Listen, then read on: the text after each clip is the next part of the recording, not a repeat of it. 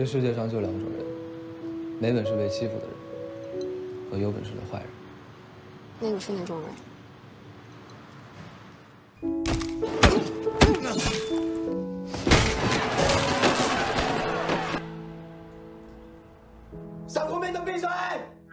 第三十九屆香港電影金像獎最佳新演員易烊千玺。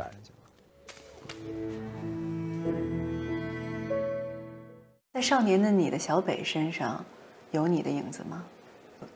我自己觉得有一小部分我的影子，哪部分？我也不知道怎么说，就是有很多一些最终放到成片里的反应，或者某些瞬间都是我自己没有意识到的某些真正的一瞬间，就不是我去演出来的。小北身上的什么东西让你有这种感觉？小北他有一点是我一直很喜欢、很向往的，就是他能够真正的把自己武装起来，去对抗这个世界，但反倒他的心里是一直很善良的、很纯洁的。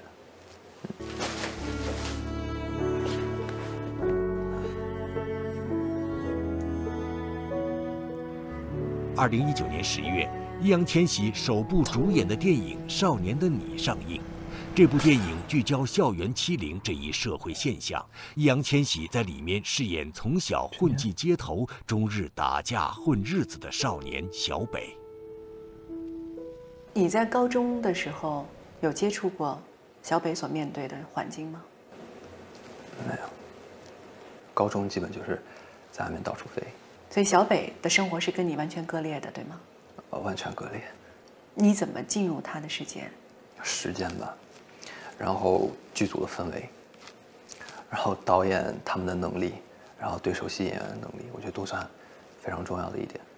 我感觉《少年你》拍的算是那种细水长流，慢慢慢慢，然后到最终就感觉形成一个大瀑布的感觉，就是感觉好像一切都很顺利。拍的时候就每天一点儿，每天一点儿，每天一点儿，看到成片的时候才觉得原来有这么大的力量。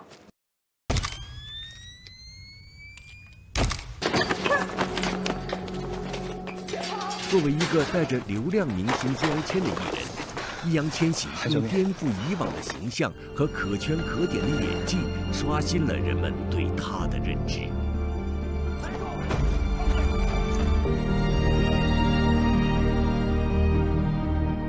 包括千玺，你是一个演员，你不是一个偶像。为什么当《少年的你》的编剧说千玺，我觉得你不是一个偶像，而是一个演员的时候，你会哭？就是感觉得到了一个非常非常重大的这么一个肯定啊。然后我为什么会哭，是因为当时导演在旁边突然又拍了我一下，就一下得到这种被人安慰的这种感觉，就从生理上就会突然一下一啊止不住。那在你心里，演员跟偶像不一样？演员跟偶像没有冲突，嗯，但是演员做的事儿跟呃唱跳偶像做的事儿不一样。就是你现在对自己的要求是想要演好戏。《少年的你》中的小北，并不是2019年易烊千玺带给观众的第一个角色。别相处，我回来了，有我。在较早前播出的电视剧《长安十二时辰》中，易烊千玺扮演了一位身着道袍、头戴玉冠、手执拂尘的世家公子李泌。这个看似清高孤傲，实则胸怀天下的少年谋士，与同样年少成名、少年老成的易烊千玺有着共通之处。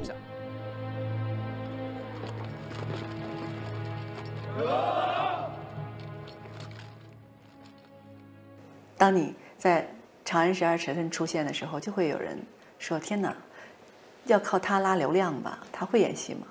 你知道的是吧？我会会看，你会看，看了之后呢，心里怎么想？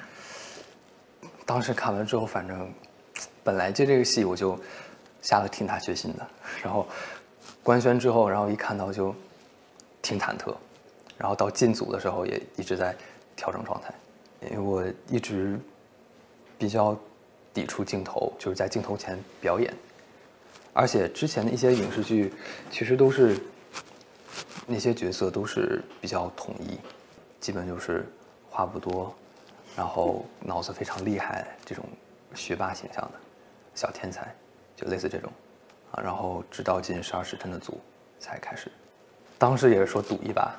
你找到做演员的感觉了吗？我在里面有觉得演的很好玩、很爽的戏，然后也有觉得怎么半天我都过不去，然后受打击的戏。内心有没有一刻想我是有流量的？我哪怕是做一个眼神、笑一下，都一定会有人来看的。没有，没有，没有。当时就是在那个角色里面，你就是那个李碧。我如果穿上道服，然后手拿着这个拂尘，我做这种表情的话，可能我自己也看不下去。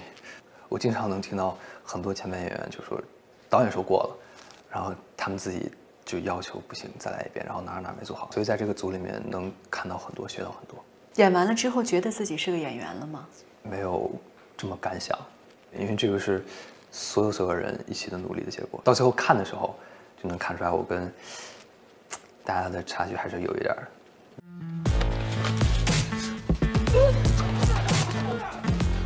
对易烊千玺来说，成为李碧的过程，也是他迈向成年的过程。接拍《长安十二时辰》的时候，十七岁的易烊千玺正在备战高考。戏里，李碧面对的是危机四伏的大唐长安；戏外，易烊千玺面对的是人生的十字路口。开始。进组不久，易烊千玺就做了一个决定，他要报考中央戏剧学院。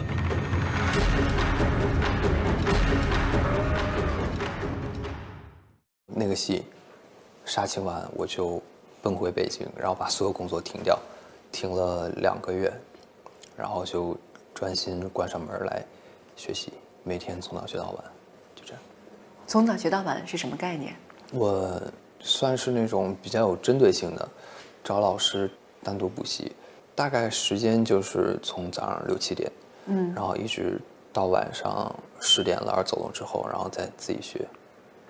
我其实就是备考那会儿卯足了劲儿，真的是 卯足了劲儿，就想一定得考好，算是人生最后一次文化的大考，嗯，说想要证明一下自己。用两个月，我觉得也太短了。当时自己给也给自己定了个小目标，然后我在北京学完之后，其实并没有达到，甚至离那个分数还差了有十多分。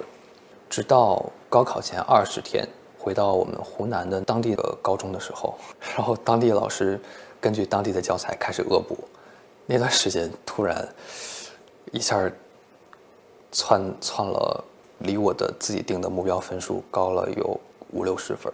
为什么？算是开窍了。能心无旁骛的念书，对于你来说是不是挺奢侈的？对，非常非常享受，静下心来学习，然后静下心来读书。二零一八年高考，易烊千玺以专业九十四点八五分、文化四百七十三分双科第一的成绩，被中央戏剧学院表演系话剧影视表演专业录取。你带着偶像的这样的一个光环。进入到中戏有压力吗？呃，最开始有，因为入学前军训那段时间，我没有跟大家在一块儿。刚开学那会儿，算是我是班里面最陌生的一个，嗯，就对大家而言，一开始会有点压力，而且我又不是那么擅长于跟别人交朋友啊、沟通交流的。怎么破解的呢？就是时间慢慢慢慢，时间长了，然后就会有遇得到的、能聊得来的朋友。而那时候，大家都是一张白纸，每个人都是未来的演员、流量明星或者是偶像的这些标签，对于你来说是正向的还是负向的？这个标签在学校里面倒还可以，就没有那么没有那么大的困扰啊。然后老师也都会拿你当正常学生看待。在人生新的阶段，易烊千玺给自己定了一个新的目标：成为演员。而实际上，演员需要表达，需要把内心的东西迸发出来。这跟你的性格会有冲突吗？我觉得还好，反倒我觉得我们内向的人，在平常生活中可能会观察呀，然后积累到内心的一些东西可能会相对来说比较细致或者丰富一点。这会让你觉得孤独吗？没有，我是喜欢这样，跟其他的人会格格不入吗？还好，就是我有我的环境，然后我如果您来跟我交往的话，我可能会融洽你，啊、接纳你，对，就是我处在我的世界里面。我觉得这个圈子可能说需要一点儿所谓感觉上不同状态的人吧。总结起来就是用作品说话。嗯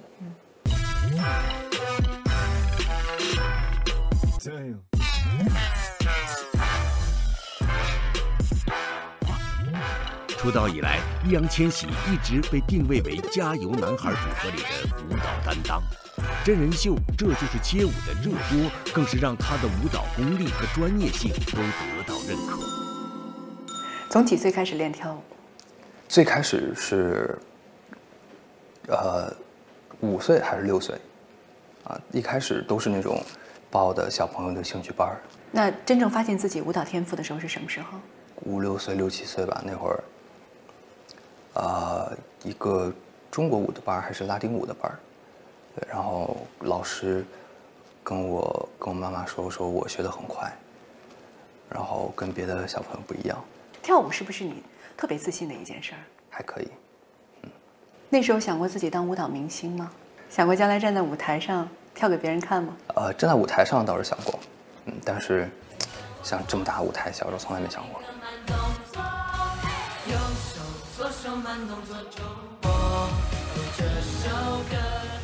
易烊千玺所说的大舞台，指的是春晚的舞台。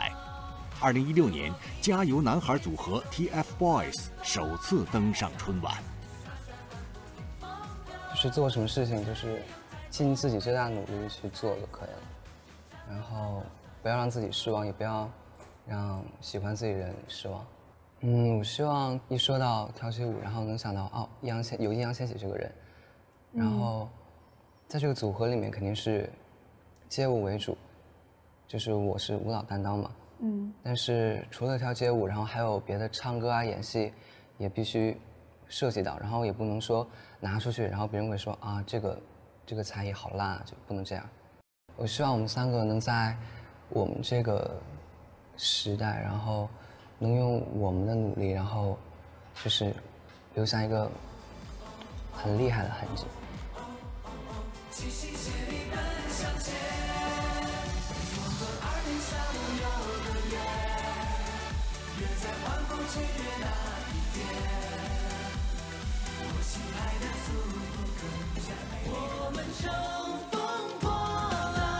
从二零一六年到二零二零年，易烊千玺已经连续五年在春晚舞台上亮相。那你上春晚紧张吗？到第二次、第三次就还好。今年是第五次上春晚，对，觉得自己是春晚的老客人了吗？从我出道以来，春晚对于我来说算是一个老舞台了，但是第五次站在上面，什么感觉？有一点亲切。应该说每一次其实你都是唱跳，这一次跟过去相比最大的不同是什么？会更适应这个舞台吧，相对会放松一些。那毕竟要跳舞要有配合，要磨合吗？在练习室我们就练了一个晚上，在练习室只练了一个晚上对，上。我们是先提前把单人的舞蹈动作先练好，嗯，然后再合体练一晚上，嗯，然后那天晚上是练到很晚很晚，那磨合的困难吗？还可以，算比较顺利。难度其实就是走位，因为呃舞蹈室没有那些升降啊，因为大家都是呃呃擅长跳舞的人，就还可以动作。跟左手右手一个慢动作的时候相比呢？那当然是更没有那么紧张，就是那会儿没有那么懂，然后就就感觉是一股热情站在舞台上这种感觉，就是感觉那个时候脑子动的少，心动的多，就是纯靠感觉，不是理性的去判断计算啊这这种。那现在呢？现在是过于冷静，在舞台上会过于冷静理性的判断我刚才做了什么，我下一秒要做什么。为什么会出现这种变化？觉得可能是啊、想的太多，那是什么让你开始想这么多了？可能就是时间慢慢就自己慢慢长大，会就开始变得这样。是偶像包袱吗？有一点儿算是自己的，呃，要求太复杂吧。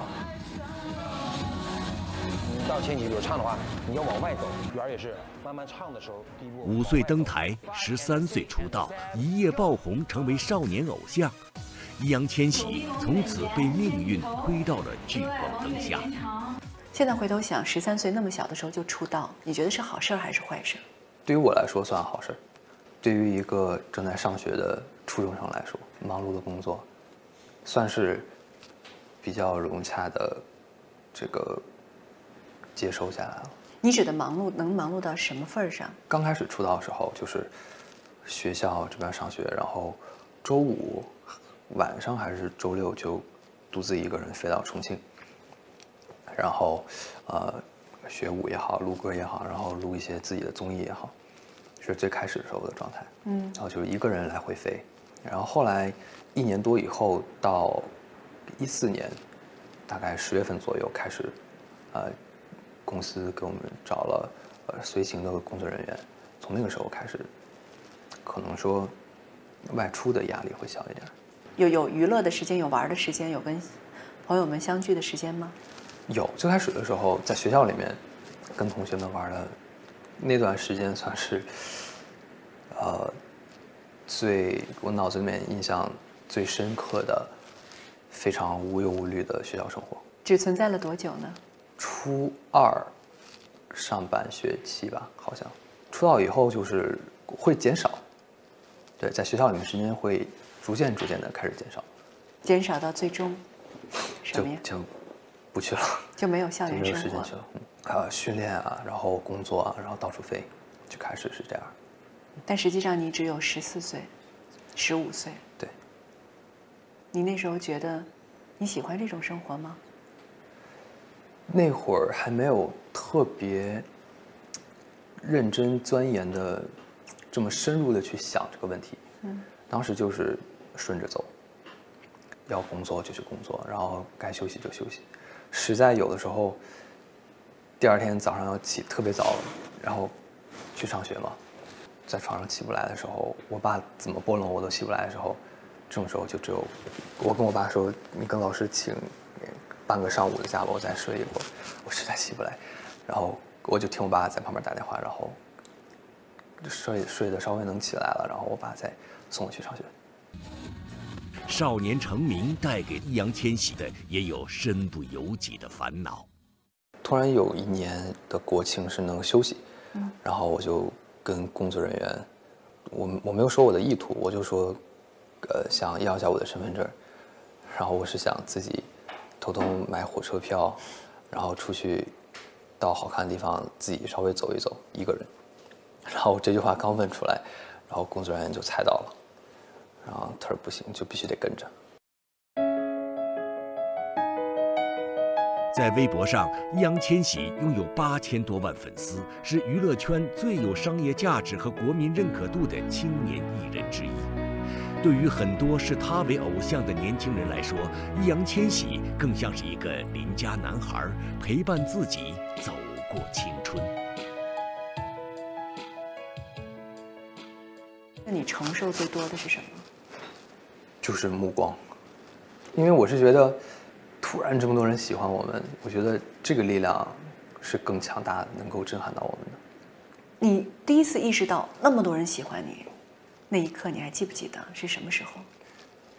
记得是我们宣布我们出道的那天，我们开了一个专辑发布会，就在重庆的一个商场里面。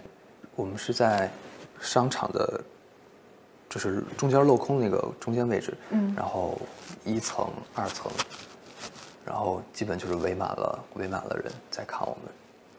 你当时还那么小，你当那么多人看着你，你是什么样？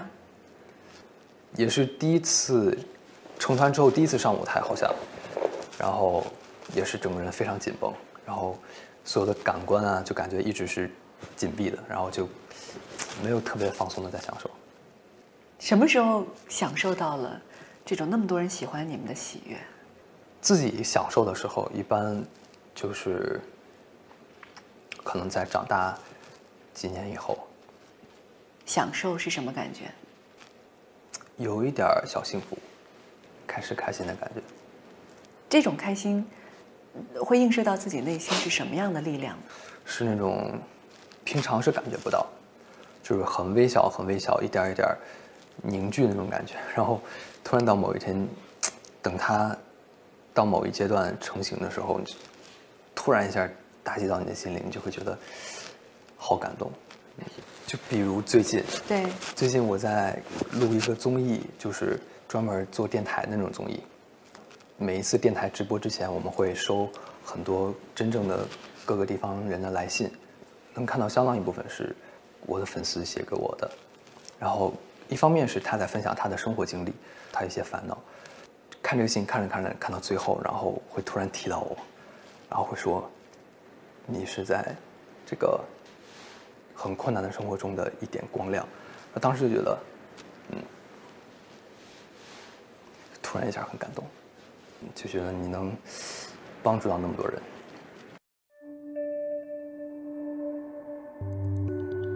渐渐长大后，易烊千玺开始思考成年后的自己到底想要什么。二零一九年，一部电视剧、一部电影打破了人们对他的固有印象。易烊千玺以不断突破自我的姿态，开启了属于他的无限可能的未来。没关系，那都是假的。现在你最喜欢别人怎么称呼你？当然是演员，演员对，感觉是对于实力上的认可。怎样做就是好演员？我觉得都是这个标准，就是你自己要有热情，态呃，首先态度是第一位，再落实到做事儿上面，就最终的结果你自己算是满意的。那回顾自己出道的这七年呢？你觉得自己最大的成长是什么？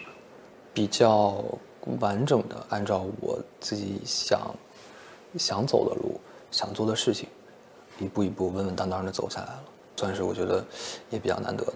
我能做我觉得舒服的事儿，也是不容易的。那接下来呢？总结起来就是用作品说话。那我们就期待你的好作品。